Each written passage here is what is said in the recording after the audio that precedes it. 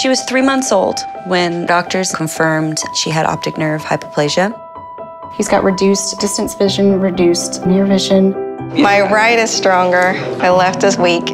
Six months before she graduated high school, she was diagnosed with atrophy.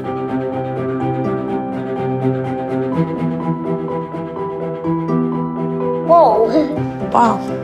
Cool. Really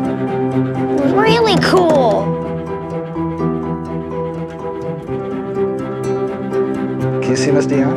Yeah. Can you see her? Yeah. I can see the camera people. The people with the cameras. His hat is green.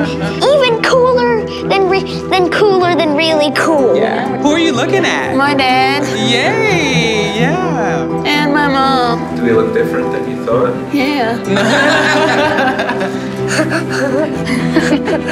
You can see me in the picture. Yeah.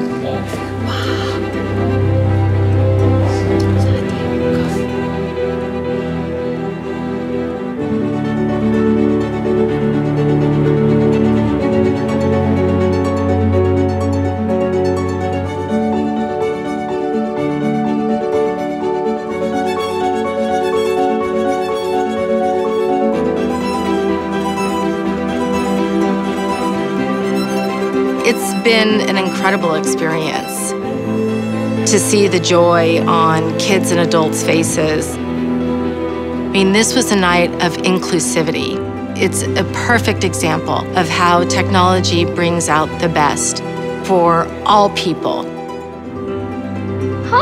This is huge. This could really be a big deal for her. She couldn't go up and down stairs easily at all. She hasn't been able to cross the street by herself. There's a lot that'll change for her.